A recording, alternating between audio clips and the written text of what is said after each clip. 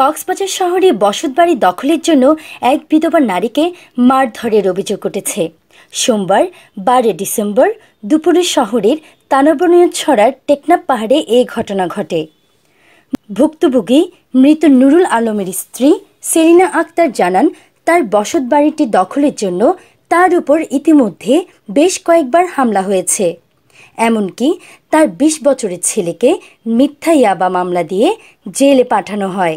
আমারে মাসে সারেকে গাছ দিয়ে বাড়ি। আমার উনার ছেলে উনার একটা ফালতে মেয়ে, বর্মাই একটা মেয়ে ফালতেছে। উনাকে মানা করছি যে তুমি আমার চাল ভাঙি যাচ্ছে নুসা তুই গাছে উড়িও উড়িও না।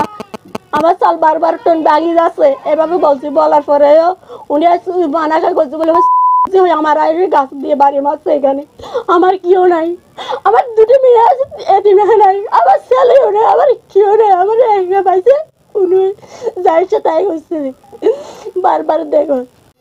আমার আমার ঘরে আমার হাজবেন্ড নাই। আমার হাজবেন্ড মারা গেছে দশ বছর হয়েছে। এরপরে আমার একটা বিশ বছরের ছেলে আছে, গুটি মামলা বাসায় দিছে। আমি মানুষের বাসায় কাজ করি ফরি আবার সংসারটা চালাই। তো আমার গাছে উঠে আমার ঠোনগুলো ভাঙি ফেলছে, আপনারা দেখেন।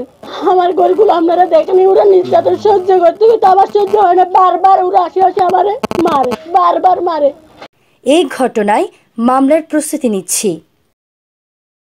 News desk CCN Cox's Bazar.